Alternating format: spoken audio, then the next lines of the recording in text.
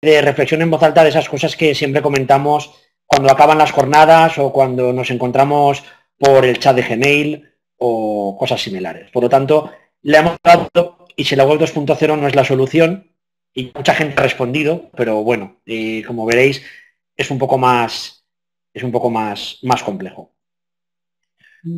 Lo primero, y esta, esta, esta viñeta me, gusta mucho ponerla, eh, es hablar de los procesos. Es decir, Internet y la web 2.0 en el mundo de la sanidad es una ayuda. Eso creo que lo debemos tener clarísimo. Y como dice bien este, este dibujo, hay que mirar bien la base de todo. Es decir, ponerle a muchas cosas una capa de 2.0, una capa de Internet, una capa de redes, una capa de comunidades virtuales, pero lo que hay detrás, cuando rasquemos, tiene que haber algo muy potente. Es decir, tiene que haber un proceso muy claro, tiene que haber una comunidad con unas relaciones muy claras. ¿Me veis todos? ¿Que no escribe nadie? Ah, vale, vale, es que nadie dice nada. Tiene que haber algo muy claro, muy potente, como os decía, es decir, una comunidad muy consistente. Eh, creo, que esta, creo que esta viñeta lo dice todo. Tenía razón, comprando las entradas del cine por internet, luego no hay que hacer la cola de la taquilla, hay que hacer la cola de la máquina de recogerlas. ¿Mm? La he puesto muchas veces, muchos la habréis visto y creo que, es una buena forma de resumir que el proceso es lo importante y hoy hablamos de Web 2.0, hace 30 años era atención telefónica y dentro de 20 años será, no lo sé, no lo sé, no, no, no quiero aventurar.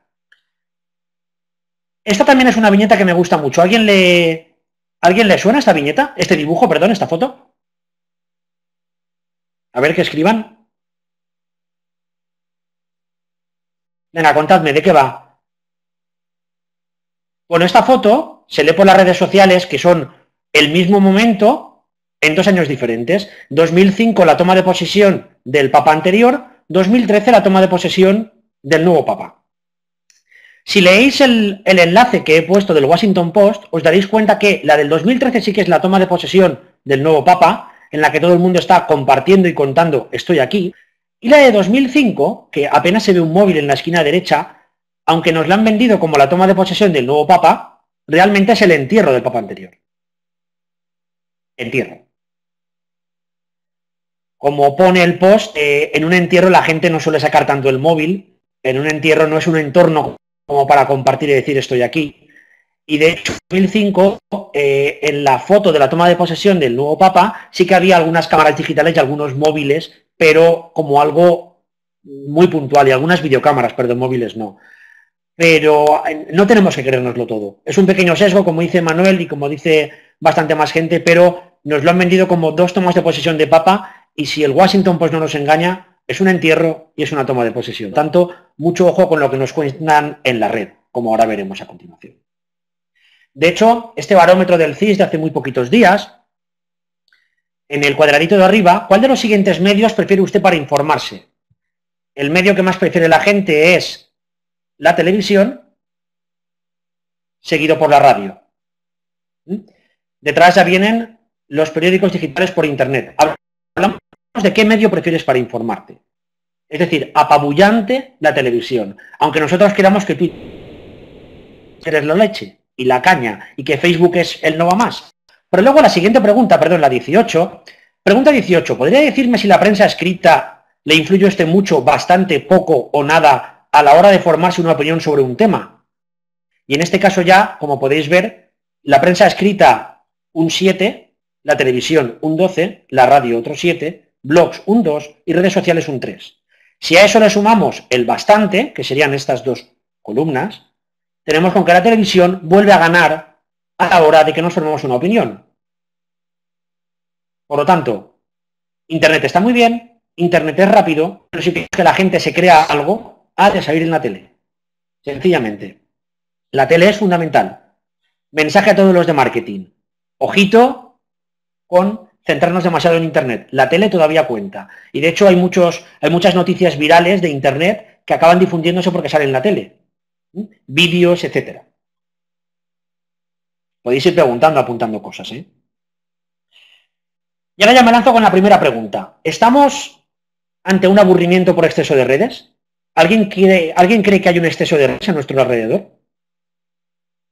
Lanzo pregunta. Falta de tiempo. Nos satura. Julio dice que sí, Monse que sí, Manuel Escobar que sí. Eh, esta entrada de Mis APIs por tus cookies, que es un blog que recomiendo todo de enero, decía, abandonar Facebook va a ser la primera tendencia de 2013. Pero es que además la gente de Pew Internet, que por cierto, eh, si mal no recuerdo, Susan Fox es una de las invitadas al evento Saludos.0 de Euskadi, la directora de estudios de, de Pew Internet, dice que de toda la gente que decía que Facebook le cansaba, un 21% abandonaba Facebook porque no tenía tiempo, estaba muy ocupado, el 10% porque no estaba interesado, un, otro 10% por una pérdida de tiempo y el contenido no relevante, y luego un 9% demasiado drama, demasiado cotilleo, negatividad, conflicto, podemos añadir fotos de gatitos, podemos añadir fotos, perdón, citas famosas, etc. Por lo tanto, las redes empiezan a cansarnos. Llámese Facebook, se está notando, por ejemplo, en el entorno de la salud, nos estamos dando cuenta en, Twitter también, existen menos conversaciones que antes o mucho más agrupadas alrededor de varias personas y sin la participación que había antes. ¿eh? como dice Julio, sin añadir el adjetivo que pone de... Facebook empieza a cansarnos. ¿Qué será lo siguiente? ¿Mm? Quora, ¿os acordáis de Quora alguien? La red de preguntas. ¿Alguien se acuerda de Quora? Chan, chan, chan, chan. Gran plus. No, nadie se acuerda. ¿eh? Es como Google Wave. ¿eh? ¿Os acordáis de aquellos intentos de Google de hacerlo mucho más todavía? La gente seguía volviendo al Google Docs. ¿eh? Si no la conocéis, no es porque seáis muy jóvenes y porque, porque no tuvo mucha difusión. No creéis que esto es de hace 15 años. Algo que yo siempre recomiendo y recuerdo es que los foros y las comunidades no van solas. Mucha gente habrá tenido experiencias con foros y con recordar que debe haber un moderador y debe haber un dinamizador. La inteligencia colectiva mueve el mundo si hay un eje. Si hay alguien que modere, alguien que dinamice y alguien que empuje. Si no hay nadie que tire del que más, las redes y las comunidades es muy difícil que sobrevivan. Pero muy difícil. Hay algunas que tienen muchísimo éxito y sí que sobreviven, pero acaban nombrando moderadores, acaban nombrando responsables de foro. Forum Clinic tiene un moderador técnico, en este caso en el foro de artritis tenemos a Julio Ramírez, que es un médico del Clinic de Barcelona, y luego tiene una dinamizadora o varios dinamizadores, que son los que se encargan de revisar los mensajes, contactar con la gente, mover conversaciones, etcétera. Si nadie agita las redes, las redes no se acaben muriendo, pero acaban en una especie como de cementerio de redes olvidadas que tenemos demasiadas. Yo traigo un ejemplo que me encanta y es en femenino. ¿Conocéis en femenino todos? Y todas. En femenino es uno de los foros junto con Foro Coches más conocidos de España, con más mensajes. Ahí tenéis en los foros los millones de mensajes que hay de temas relacionados con la salud como embarazo, salud, bebés, sexualidad. Lo de astrología es una cosa que, bueno, ya no depende de mí. La empresa propietaria del foro se dio cuenta que uno de los grandes éxitos del portal eran los foros. ¿Y qué hicieron? Voy a crear un foro específico para salud. Hace un año lanzaron ese foro específico para salud la gente de En Femenino. Lo llamaron Onmeda. En este foro consiguieron que los mensajes relacionados con el embarazo tuvieran cinco o seis mensajes en cada hilo como máximo. Es decir, la gente si está en un foro, es muy difícil que cambien de foro y se vayan todos a otro sitio, porque las relaciones se, se crean alrededor de un núcleo común y es muy complicado llevarse la gente a otro tipo de, entorno o de núcleo. Eh, a la gente de En Femenino le pasó, Onmeda es una web con mucha información sobre salud, pero Onmeda no es un foro que funcione. La gente sigue en En Femenino, como podéis ver aquí. ¿Mm? De En Femenino a Onmeda que, pues seis mensajes. Estos son publicaciones actuales de un tema. Abril, de repente a enero, incluso a aquí 2012. En femenino mola mucho más y la gente no se ha ido. Algo que muchas organizaciones intentan hacer. Es decir, eh, eh, tengo un montón de gente en una red en Facebook intercambiando información de salud. Voy a crear una red propia ¿eh? para que la gente hable en mi red. No acaba funcionando salvo que ofrezcas algo de la leche, algo, él no va más. no va más. Otro ejemplo, Patients Like Me. ¿Cuántas empresas conocéis que han intentado replicar en España Patients Like Me? o han intentado crear eh, de rating de médicos ¿eh? para puntuar a la gente. Julio iba, iba, a hablar de vuestra red, pero al final no, no la he citado, he citado otras. Pero hay muchas, hay muchas empresas que se dedican a crear redes pensando que si en Estados Unidos una Paces like Cure Together, Cure Together es la famosa web donde la gente hablaba de masturbación, que hoy no la traigo, han intentado replicarlo en España y no ha funcionado. De hecho, en España, de las poquísimas redes de médicos que funciona actualmente, redes con datos de médicos es Doctoralia. ¿Vale? Sin embargo, una de las cosas que mucha gente comentaba es que al español no le gusta compartir sus datos de salud. Otro dato del barómetro del CIS, de hace muy poquitos días, nos dice que un 21% de, de los ciudadanos encuestados no le importaría y daría fácilmente sus datos de salud. Historial médico, dolencias, alergias, enfermedades.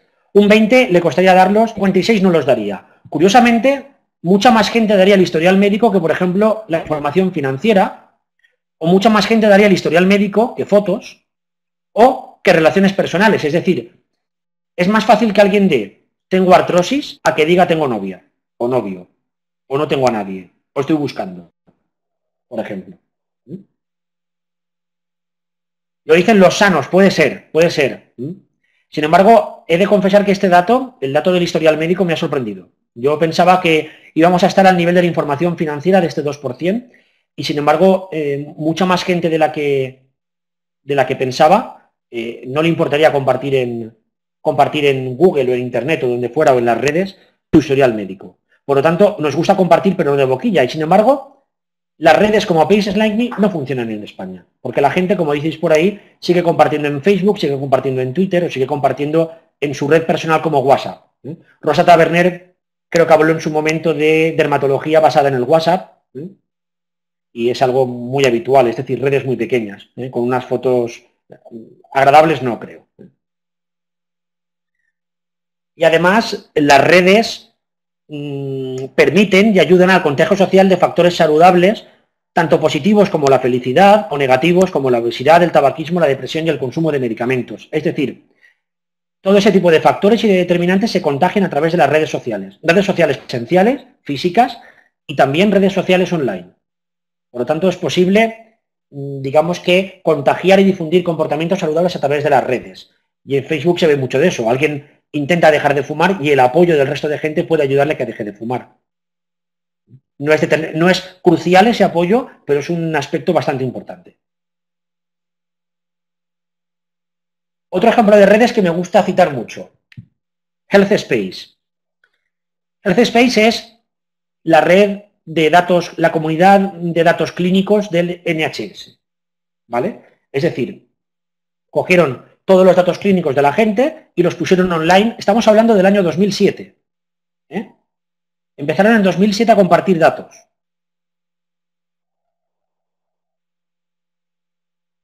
Iba a cambiar de color aquí.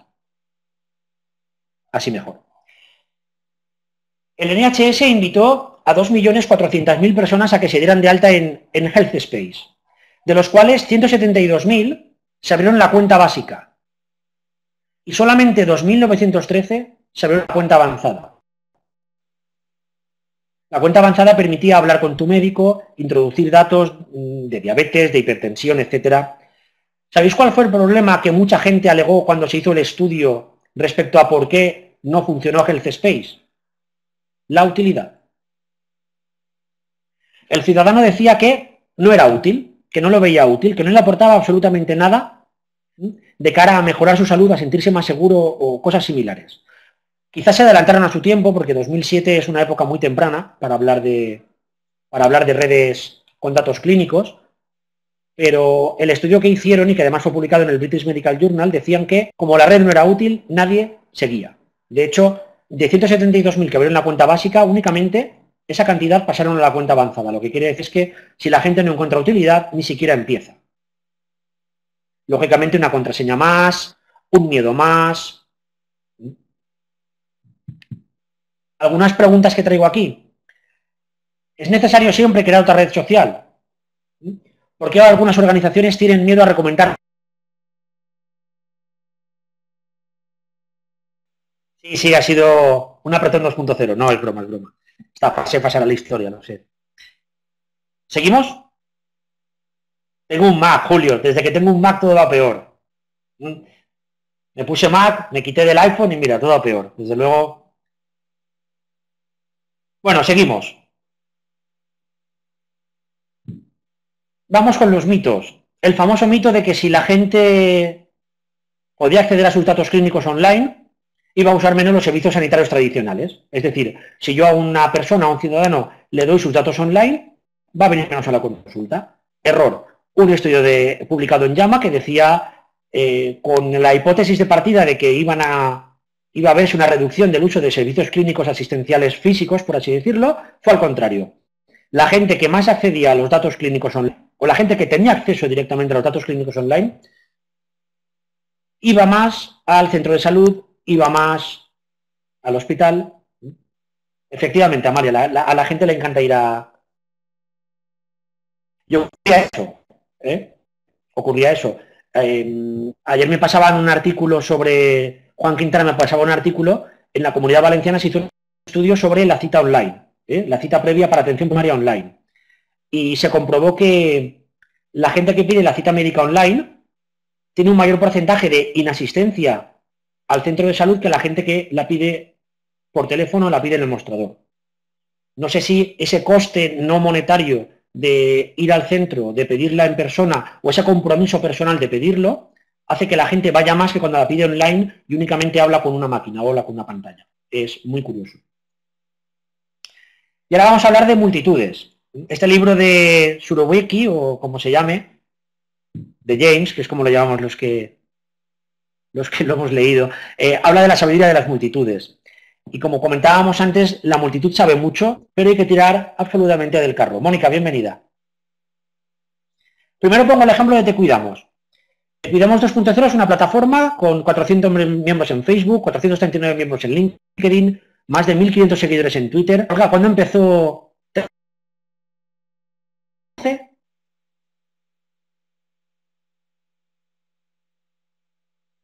¿2010? 2010.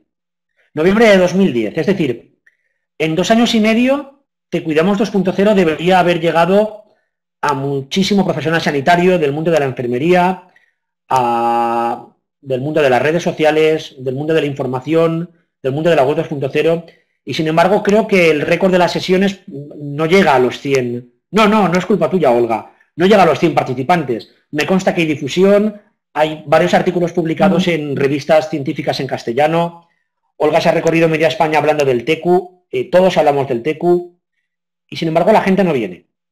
¿Estamos aburridos de aprender? Resulta que lo gratuito sigue sin mutar. Si Olga diera un diploma eh, con 10 créditos o 5 créditos, ¿la gente vendría? ¿O es brecha digital? La brecha digital, Serafín, ¿con qué, con qué se combate? Mm, si mi centro sanitario me dice que me va a pagar productividad si vengo al, al TECU, ¿eh? o que me va a contar como como incentivo, seguramente la gente vendría más. ¿Mm? Sin embargo, lo 2.0 tiene el problema de... ¿Eh? Por ejemplo, hoy, estamos compitiendo contra Masterchef. ¿Mm? Seguramente habrá más gente en Masterchef que aquí ahora mismo. Pero bueno, créditos, puntos, dinero. Eh, Mónica, tienes toda la razón. ¿Mm? El tema es que eh, la gratuidad, como decía alguien, la gratuidad nunca implica gratuidad. Es uno de los problemas que tenemos actualmente en muchísimos ámbitos. Y finalmente, no se valoran lo suficiente las iniciativas colaborativas. Después hablaremos de la envidia. ¿eh? Pero nos gusta compartir, nos gusta basarnos en lo de los demás, pero luego nos gusta ponernos la medalla. Y eso ocurre también a nivel colaborativo, como veremos. Este ejemplo me encanta. Coursera. ¿Quién nos ha apuntado a un curso de Coursera? ¿Eh? ¿Alguien se ha apuntado a un curso de Coursera? ¿Quién lo ha acabado? ¿Alguien ha acabado el curso de Coursera? Porque yo me apunté a 5 y creo que acabé medio. ¿Mm? Aquí tenemos los datos de un curso de 2012 de la Universidad de Duke. Se apuntaron 12.000 personas, al menos vieron un vídeo 7.000, hicieron un examen al menos 3.600, 346 personas. Coursera es una plataforma online de cursos de universidades bastante prestigiosas en las cuales puedes seguir los cursos de forma gratuita teniendo en cuenta que no se entrega ningún diploma. Es decir, no hay diploma. Falta de motivación, falta de tiempo. Es muy complicado saber por qué la gente no entra, a Coursera, pero los datos yo creo que la, curva es bastante curiosa. ¿eh? Es decir, estamos hablando de menos de un 2% de personas las que acaban un curso, un curso de una universidad tan prestigiosa como esta. ¿eh? El TECU también es prestigioso, también son contenidos de calidad. Muchos de los que estáis hoy escuchándome habéis sido profesores, eh, habéis colaborado en alguna clase y sin embargo, de interés. Seguimos sin saber por qué. tenemos que ver de qué forma podemos incentivar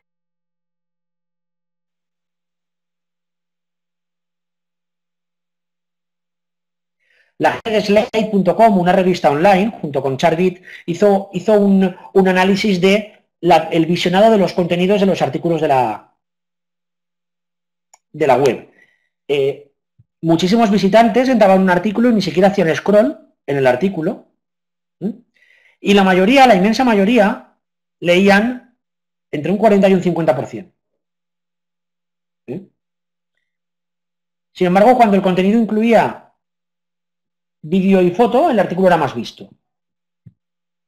Es decir, ¿estamos contra una pereza 2.0? ¿Creéis que existe la pereza 2.0?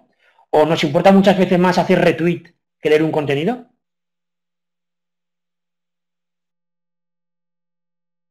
Efímera. Yo aquí traigo el ejemplo de esta noticia del, del Telegraph, que fue noticia en todo el mundo, cuando un programa de radio australiano, no sé si lo recordáis, llamó a los hospital donde estaba ingresada Kate Middleton con su embarazo y, o con un problema de su embarazo y preguntaron por su estado de salud. Y una enfermera eh, dio esa información pensando que era alguien de, Palacio, de Buckingham.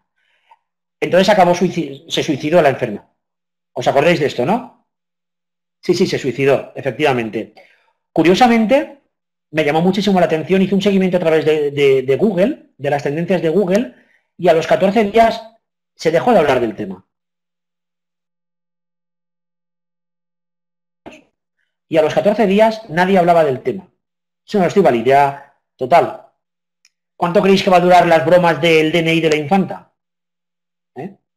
Trascienden 2.0, efectivamente, Federico, pero quizás ahora todas las noticias tienen... ¿Habéis echado un vistazo a las noticias de hoy del mundo.es, de lo más leído del día? No serán las noticias que todos consideramos como más serias. De hecho, este análisis de un enlace del, Washington Post, creo que era, a los tres minutos de difundir el enlace llegaba a 500 clics y en menos de 15 minutos se bajaba a menos de 50 clics y en poco más de una hora y media ya nadie hacía clic en el tweet podemos hablar de información. ¿Todo es tan efímero, Sergio? Pues a veces sí. A veces. A veces creo que sí. Hay que aprender a surfear y hay que aprender a saber que no tenemos que leerlo todo ni tenemos que saberlo todo. Que muchas veces con saber lo importante y tomarte un café con el que sabes es suficiente. Más sobre datos, que muchas veces nos confunden. Creamos una red para nuestro hospital, tuiteamos la noticia y queremos que eh, haciendo un informe de TweetReach llegamos a todo el mundo. Esto lo he sacado del TQ20, del, hashtag TQ20 de esta tarde. Es decir, había llegado a 94.000 impresiones y a 62.000 cuentas. ¿Os lo creéis? No es, no es cierto. Es decir, el hashtag TQ20 había llegado a bastante gente, pero lógicamente si yo tengo 6.000 seguidores y lo tuiteo, no creo que lo lean 6.600 y posiblemente no lo lean 60. Sin embargo, nos encanta sumar. Los 2.000 de Xavier Gómez, los 2.000 de José Manuel, los 2.000 míos y los 2.000 de Mónica, 8.000. Hemos llegado a 8.000, tururú. Farda muchísimo tuitear, Federico, efectivamente. Eh, nos encanta decir que hemos tenido mucha difusión en Twitter. Pero es que, como aparece aquí en el País Semanal, en este, y que ha sido comentado ampliamente en, en Twitter, la gente tuitea y retuitea sin leer. El timeline corre mucho, como dice, como dice Chema, y la gente tuitea sin leer. Eso es muy delicado. Muy delicado. Lógicamente, yo una de las cosas que siempre digo es que si confío en la fuente, si confío en la fuente, eso es bueno. ¿eh? Pero muchas veces, que no quiere decir que todo esto sea malo, yo no estoy tirando piedras, luego viene la parte buena, ¿eh? Pasa con los teletubbies y nos ponemos a darnos abrazos. ¿Vale? Pero creo que es una reflexión importante. Otro ejemplo es Movember. ¿Alguien recuerda Movember, la campaña de los bigotes? A ver. Sí, José Manuel. Bueno, os lo explico.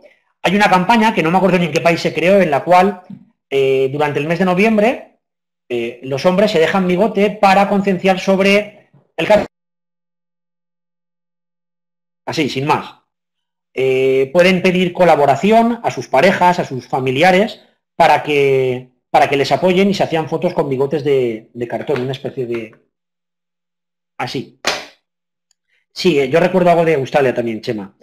Eh, a finales de 2012, el British Medical Journal saca un articulito que dicen que si Movember está confundiendo a los hombres, porque dentro de la web toda la información que aparecía sobre cáncer de pta no estaba precisamente muy avalada por la evidencia.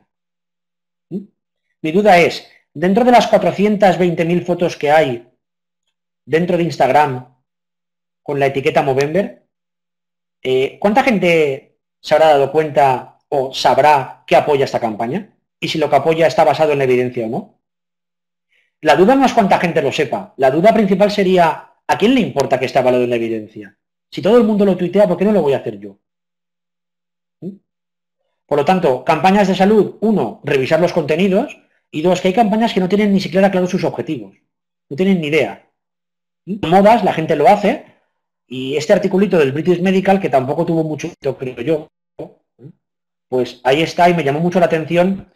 Sí, la, evidencia al final únicamente sirve cuando vas al juez o cuando tienes que convencer a alguien, con razones, aunque las razones últimamente no están muy de moda tampoco.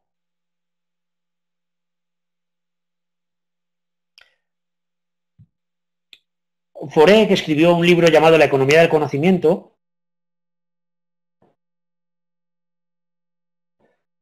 ponía... Sí, David,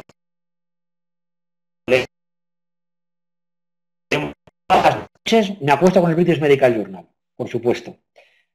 Foré... Eh,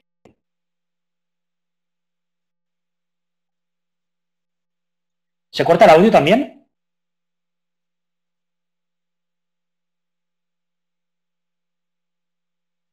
¿Me oís ahora bien o no?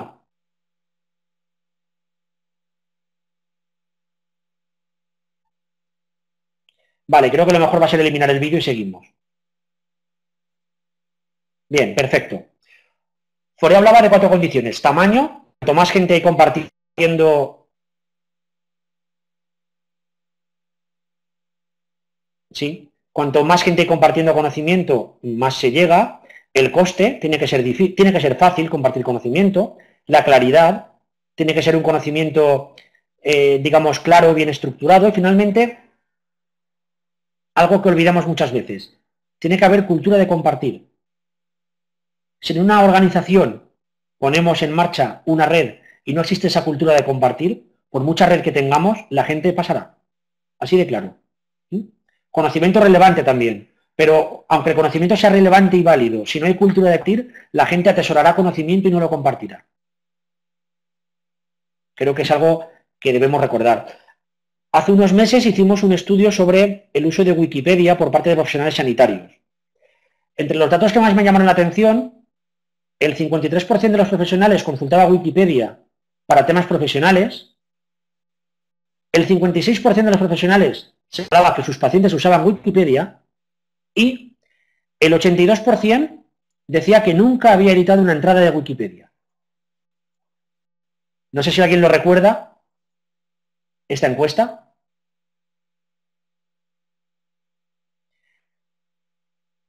Bueno, lanzamos la pregunta de por qué no editaba la gente la Wikipedia en temas de salud. La mayoría dijo que no se consideraban expertos.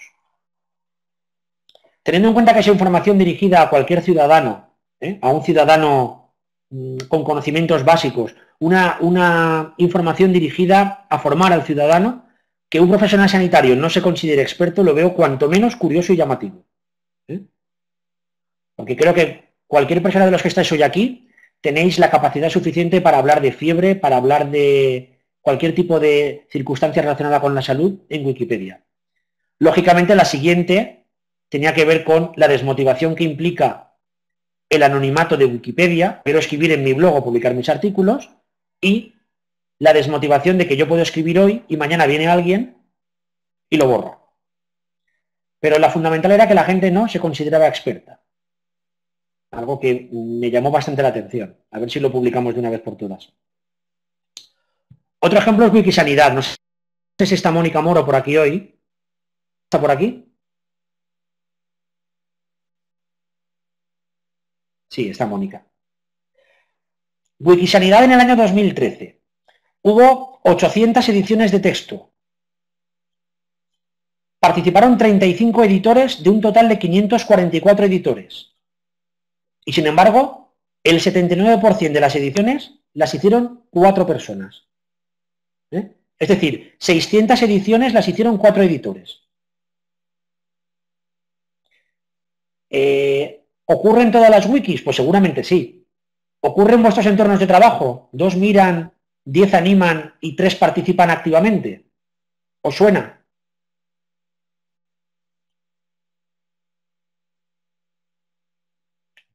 Siempre traigo esta, esta viñeta que me gusta. ¿Qué se suponía que los proyectos de grupo me iban a enseñar? Comunicación, responsabilidad, colaboración, trabajo en equipo. ¿Qué me enseñaron realmente los, los proyectos de grupo? Poco de comunicación, poco de responsabilidad, poco de colaboración, poco de trabajo en, equipo y mucho de no confíes en nadie o en casi nadie. ¿Mm? El trabajo en equipo funciona si el equipo existe. Y muchas veces hacemos trabajo en grupo. A mí me recuerda la época de la universidad. ¿eh? Uno, se uno se encargaba de maquetar el trabajo, dos de currárselo y tres ni siquiera iban porque tenían cualquier tipo de excusa. Por lo tanto, el trabajo en equipo, y está por aquí Serafín, que me consta que ha trabajado mucho y ha sufrido mucho con Mírame, diferenciate. Hay mucha gente que dice que colabora y luego lo de la verdad son ocho, muy buenos, pero ocho. El problema es que en casi todos los, los trabajos colaborativos acaban trabajando los mismos y aparece un factor que es el cansancio, porque recompensa poca. Bueno, una y fundamental, la satisfacción del trabajo bien hecho, que creo que con eso muchas veces tenemos suficiente, pero a veces hay gente que necesita algo más y es lógico. ¿eh? Vamos a hablar de exploradores. La famosa frase que le gustaba tanto a Juana Talavera de que a los pioneros se les sacaba, se les notaba por los puñales que llevaban en la espalda, algo que también ha comentado muchas veces Julio Mayol. Esta es una viñeta de la adopción de innovaciones. Aquí están los innovadores. Poca difusión los famosos early adopters, esto empieza a subir, de repente alguien dice, o lo cita en la tele, o lo pone en un medio de comunicación, etcétera, la gente lo empieza a adoptar y finalmente ya ni siquiera se considera como novedad. ¿Dónde creéis que estamos todo lo relacionado con la web 2.0 en salud? A ver, ¿quién dice que estamos en la parte de innovadores todavía? Que no hemos llegado ni siquiera a early adopters. ¿Innovadores? ¿No? No. Vale. ¿Quién cree que estamos en Early Adopters?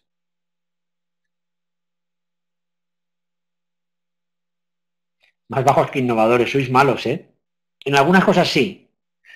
Bien, Federico, tienes razón. 2.0 lo podríamos definir como el uso de herramientas basadas en la colaboración y la conversación en el entorno de la salud. Casi, casi llegando eh, a ciertas herramientas de monitorización que no sean muy tecnológicas, ¿vale?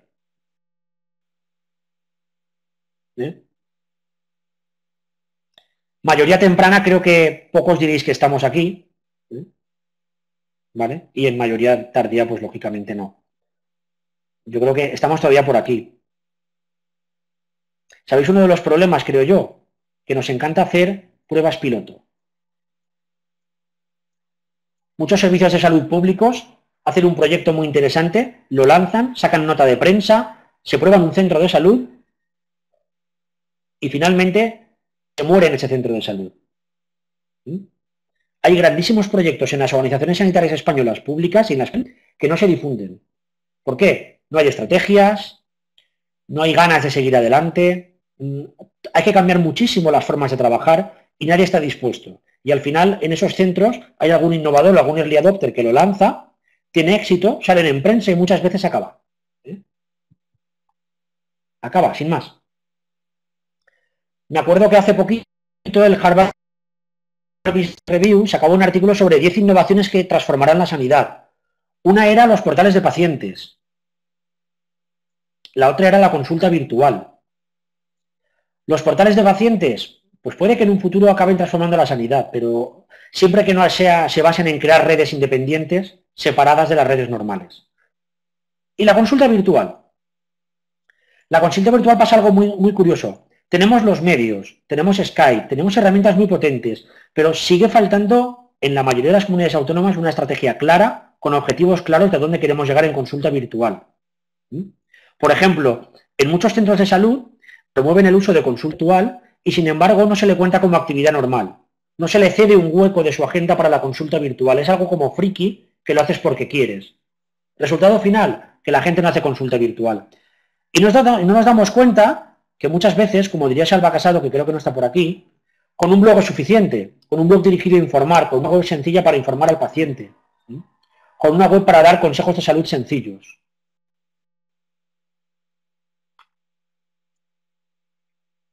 Además, es importantísimo segmentar la famosa ley de los cuidados inversos. Todo nos sirve para todos y en la red mucho menos. Pero si el paciente usa Internet, tenemos que estar ahí. Creo que es algo fundamental y la mayoría de los que estéis aquí lo tenemos muy claro. Y después hablaremos del coste. Algo que siempre estamos hablando es el tema de los contenidos de calidad en Internet, los famosos sellos, como este de la web médica acreditada, el long code, por ejemplo. Esto lo encontré y me hizo mucha gracia. Remedio contra la osteoporosis, la cerveza.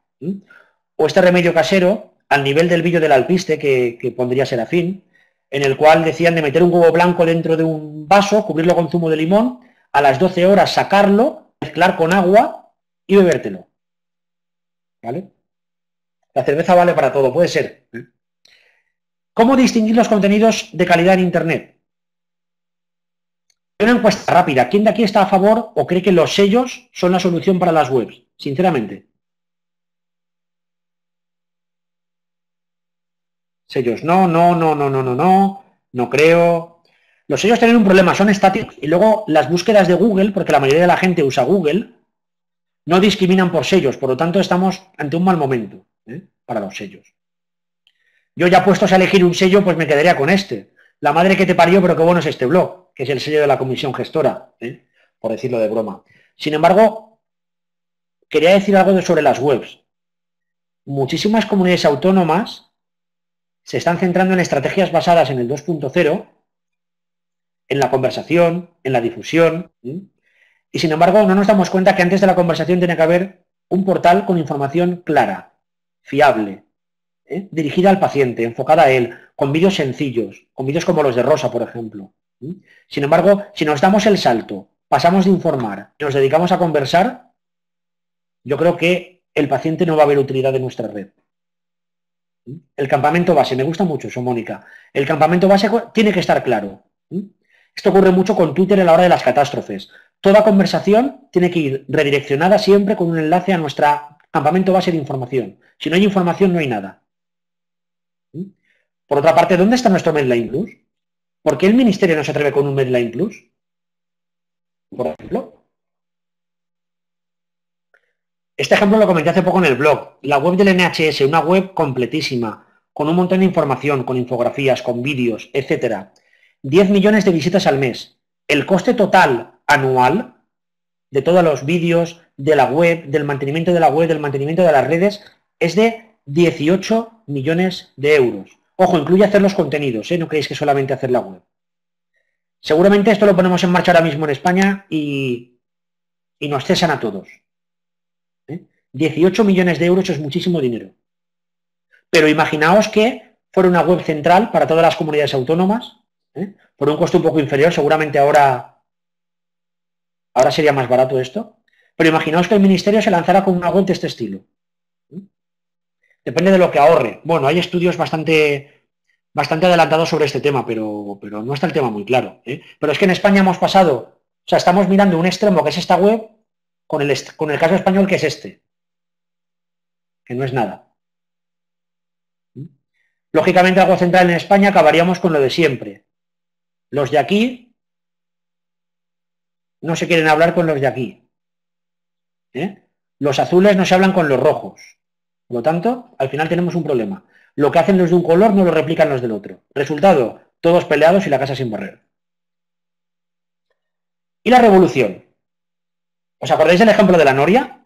Cuando Pablo Herreros, el bloguero, consiguió parar un programa como la Noria. ¿Mm? Creo que fue un ejemplo muy potente de cómo a través de un blog se podía paralizar un programa. Eh, yo le haría un monumento, porque parar la Noria, pues tiene su, mérito. ¿eh? Ya lo contaban los Beatles. Podemos cambiar el mundo con la revolución. Pero es que, tal cual van las cosas en la revolución, si alguien quiere plantear la revolución de un día para otro, que tenga en cuenta que no haya nada programado para que sea trending topic ese día a través de Twitter. ¿eh? La revolución empezará en Twitter si no hay nada más importante. Si saca disco Justin Bieber, o si Chenoa se vuelve a liar con David Bisbal, que todo es posible en este mundo, ¿eh? o si Rosa Taberner sale en el Club de la Comedia, como comentabais antes, seguramente la revolución pasará desapercibida. ¿Eh? Pasará desapercibida. O Corina. Porque es algo que estamos viendo en Twitter. ¿Dónde está la conversación y el debate? ¿Creéis realmente que podemos cambiar el mundo con nuestras conversaciones en Twitter? ¿Creéis que un buen artículo publicado por la Comisión Gestora o por Serafín y Antonio o incluso por Salva en Cuadernillo de Enfermería puede conseguir que el Colegio de Enfermería cambie su forma de trabajo o pueda mover el mundo? Seguramente no. Seguramente no. Pero ahí estamos, trabajando duramente. Porque claro, creo que reforma enfermera nunca será un trending topic. Eh, salvo que Risto Mejía nos eche una mano y nos ayude a molestar como, como se debe. Pero de verdad, los cambios, que no haya nada para que sea trending topic.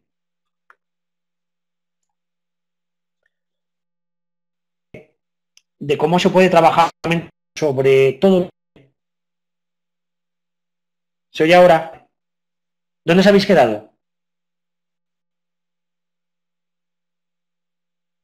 ¿Dónde os habéis quedado?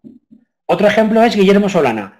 Guillermo Solana es el director artístico del Museo Thyssen y se lanzó a través de Twitter directamente a hacer un curso sobre los cuadros y las obras del fondo pictórico del Museo Thyssen. ¿Vale? Lo que hizo fue tuitearlo junto con una foto de los cuadros que estaba comentando. Aquí tenéis un ejemplo. Eh, algo tan sencillo, algo con un medio tan sencillito como es Twitter y con fotos de los cuadros, consiguió que un montón de gente le siguiera. De hecho, los farmacéuticos de hospital han creado Twitterapéutica, que es una iniciativa muy parecida de formar y compartir conocimiento a través de Twitter. Algo sencillo y sin embargo tiene éxito. Por lo tanto, muchas veces lo importante no es el medio que usemos, ni que haya mucha gente detrás, porque como ya sabéis, las redes permiten guardar la información, sino que tengas algo tan espectacular para contar como la historia de un... Si tienes algo especial para contar, lo cuentes como lo cuentes, alguien te escuchará. Y eso debería ser nuestra satisfacción y nuestro sueldo. ¿eh? Y ahora hablamos de Open Data y de transparencia. Yo con Open Data siempre me acuerdo de, los británicos, porque, Mónica, son raros, ¿eh? son bastante raros. En el Reino Unido hay una cosa que se llama el Freedom of Information Request, que es para pedir información pública a cualquier autoridad, a cualquier administración. Es decir, yo puedo preguntarle al ayuntamiento si los bomberos cobran a final de mes o no cobran a final de mes. Entonces una persona, echando esa transparencia británica, preguntó si la ciudad de Leicester estaba preparada para un ataque zombie. ¿Eh? Lógicamente el ayuntamiento le dijo, pues no, lamento decirte que no tenemos ningún plan para los ataques zombie. Y esta tontería acabó en prensa. ¿Mm? Por lo tanto, para la transparencia y para el Open Data tenemos que estar preparados, porque la información, podemos publicar todos los datos de sanidad, todos los datos de mortalidad, en, por ejemplo, en GRDs de baja mortalidad, y sin embargo los medios tienen que saber interpretarlos. Debemos saber interpretarlos. Si no sabemos interpretar los datos, tendremos generalmente los mismos problemas que sufrimos hoy en día con muchos medios de comunicación que interpretan las noticias como quieren. Y otro gran ejemplo de datos, la historia clínica electrónica. El proyecto de HC en España empezó en el año 2007 y hay muchas comunidades que siguen sin haberse subido al carro. ¿eh? Muchísimas comunidades autónomas siguen sin hacer nada. Lo peor es que tenemos casi 17 estrategias de trabajo 17 aplicaciones. Incluso muchas veces dentro de la misma comunidad autónoma, primaria y el hospital siguen sin hablarse del todo. Y salud pública menos todavía. ¿eh? Por lo tanto, pedimos Open Data, pero es que muchas veces no tenemos ni data. Es decir, tendremos Open y no tendremos ni datos consistentes ni, de confianza. Esto es un articulito muy breve que salió en NITA sobre eh, Google Flu. ¿Os acordáis de Google Flu? Tic-tac, tic-tac. Google Flu era el análisis de Google de las búsquedas sobre gripe para sacar, digamos que la tendencia de los casos de gripe en un, en un periodo concreto. Google decía, si hoy la gente busca información sobre resfriados, que mañana habrá un porcentaje, exactamente, Google Flu Trends, un porcentaje X de personas con gripe. Hace poquito salió este dato, comparado con el dato del CDC, Google se fue. Es decir, el porcentaje real fue del 6 y Google dijo que había un 10,5. ¿Vale? ¿Quiere decir que, que, Google es un desastre? ¿O que la infodemiología falla? Pues lamento deciros que los sistemas tradicionales fallan muchísimo. A veces casi tanto como los sistemas. ¿eh? Y en ocasiones más, también en ocasiones menos, todo depende. Lo que tenemos que tener muy claro es que esto es una ayuda más. Lo decimos siempre. Las herramientas 2.0 son una ayuda. Tenemos que tener muy claro cómo utilizarlas. Ni son todo, ni deberían ser nada.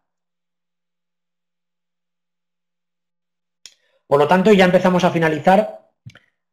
Eh, las redes sociales y las herramientas 2.0 son cercanas, son rápidas, son, son sencillas, potentes y además muy frágiles, pero muy interesantes para saber qué quiere el ciudadano y sobre todo para formarnos y aprender con otros colegas como estamos ahora mismo, 56 personas hablando aquí en el, en el TECU. ¿eh? Que creo que Olga hoy se merece un aplauso impresionante en este final de curso. Por lo tanto, pasando de si es Twitter, es Instagram o estamos haciendo un curso en Facebook, lo importante es saber todo lo que podemos compartir a través de las redes. ¿Vale? El aplauso después, chicos. Importantísimo tener en cuenta eso, la cercanía, la rapidez y la sencillez y la potencia. Yo creo que no podría haber conocido a gente como Rafa Pardo, como Vitruvia, como Estivaliz, como Alonso Escobar, Mónica, la otra Mónica, Amalia Arce o la propia Olga, seguramente sin las redes sociales. ¿eh? O Rosa Taberner, por ejemplo. Luego le añades el plus de conocer a la gente en persona, pero creo que desde el punto de vista meramente profesional, es importantísimo mm, valorar lo que influye Internet a la hora de conocer a gente que, si no piensa como tú, tiene ideas parecidas o por lo menos te puede complementar tus ideas. Una de las reflexiones finales es que a lo nuevo le exigimos todo y a lo viejo se lo perdonamos todo. Eh, siempre pongo el mismo ejemplo. Seguimos sin usar el email de forma masiva. Seguimos sin usar el email en la consulta con el paciente problemas de confidencialidad. Y nadie, o muy poquita gente, se plantea si el fax es seguro o no es seguro. Y me jugaría con más de uno lo que fuera a que seguimos utilizando los faxes en los centros sanitarios. Y nos llegan a bandejas abiertas con datos de pacientes. ¿eh? Por lo tanto, a lo nuevo todo y a lo viejo se lo perdonamos. Otro ejemplo que me llega al corazón. Hace unos años presentamos un proyecto FIS titulado Impacto de la web 2.0 en salud, el caso de las comunidades virtuales de pacientes. El investigador principal, pues me pusieron a mí. Fue rechazado por varias cosas, una de ellas por este motivo. Dado el ritmo vertiginoso al que evoluciona la tecnología y las redes sociales, los resultados corren el riesgo de estar obsoletos desde el mismo momento de su elaboración. Es decir, como Internet va tan rápido, no investigues. Así de claro. Lógicamente, hay evaluadores mucho mejores que sí que financian otro tipo de estudios, pero en nuestro caso se tiró para atrás. ¿Eh? El que quiera el estudio, se lo puedo pasar el proyecto, pero bueno, eh, una pena. La verdad es que fue una pena. Ahí seguimos. Esto duele. Lo bueno es que he conseguido una diapositiva personal propia que esto vale su peso en oro. Mis 12 consejos finales, sí, son 12. Iba a poner 13, pero como alguien me diría lo de la mala suerte, pues pongo 12.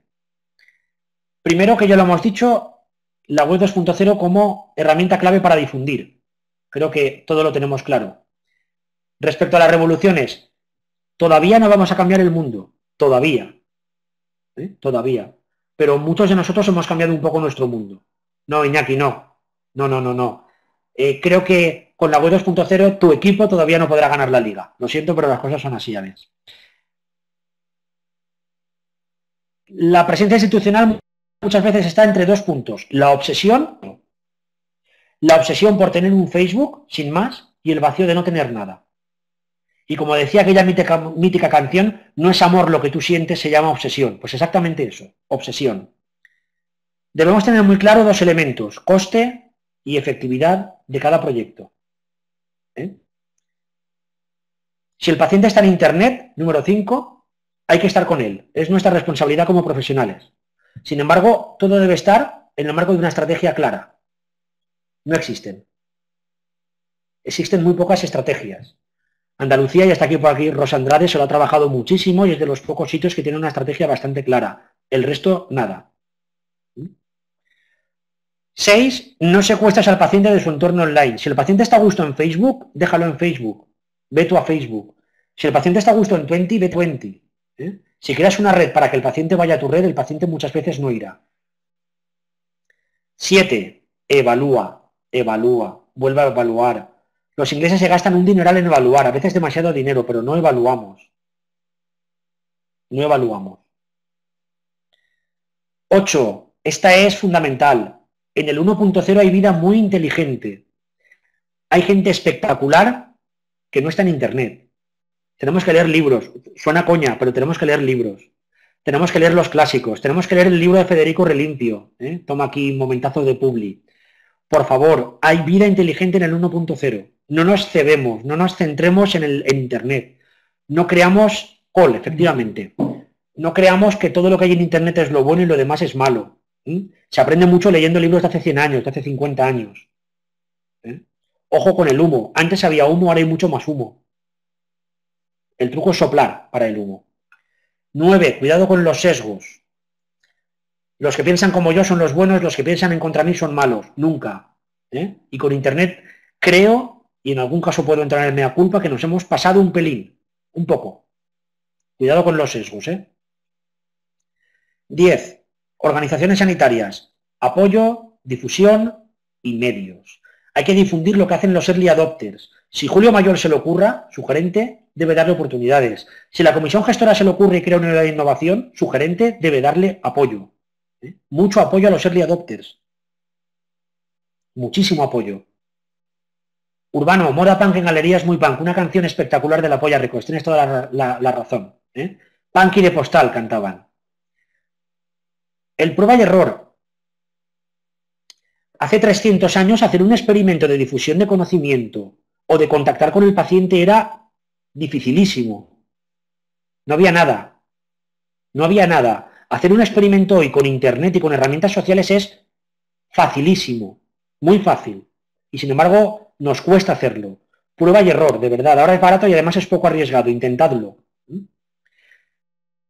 Y finalmente, no podía acabar de otra forma. La voluntad y la actitud sí importan, pero para vencer la brecha, además de actitud y de voluntad, hace falta formar a la gente, formarla sin parar, formarla de verdad. ¿Mm? Formar y aprender. Pero ojo, si queremos que la gente aprenda en casa o aprenda online sin certificados, tenemos que estimularla muchísimo. ¿Eh? Cursos, sesiones, agrupar información, compartir en redes. Por favor, voluntad, actitud y formación. Y para acabar, algunos verbos que creo que debemos sustituir por otros que teníamos preparados.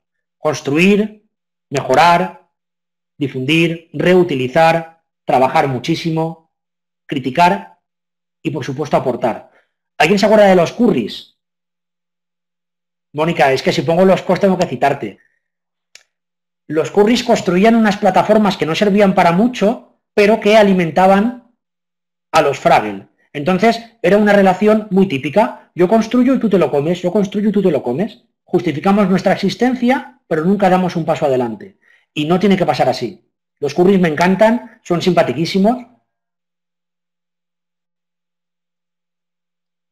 A ver, admito que me acordaba poco, ¿eh? lo he leído. ¿eh? No creáis que lo acabo de leer. Pero tenemos que hacer todo esto que pone aquí. Es decir, construir todos juntos, mejorar lo que otros construyen. Es decir, a, mí no tiene que darme ninguna vergüenza reconocer que Rebeca Villa ha hecho algo interesantísimo en el hospital de Galdacao y yo se lo copio. ¿eh? No debería, no al contrario, debería ser para mí un orgullo mejorar algo que ha hecho otra persona. Difundir lo que hacen los demás, reutilizar. ¿Eh? Oye, he encontrado un documento en el cual hay una guía muy interesante para el paciente, pues la reutilizo. Las guías prácticas del Sistema Nacional de Salud, Guía Salud, reutilizar la información, trabajar todos juntos, criticar, pero criticar con aportaciones. Por favor, criticar con aportaciones. Y yo lo único que os pido es que sigamos adelante, es decir, que acaba el curso, pero que volvamos con más fuerza a partir de septiembre, con generosidad y, como diría Mónica, con todos los cos, cooperar, construir, colaborar. Y todas las palabras que empiezan por CEO, que la mayoría son muy, son muy interesantes. Así que por mi parte, estaré ansioso de ver las preguntas, pero muchísimas gracias a todos.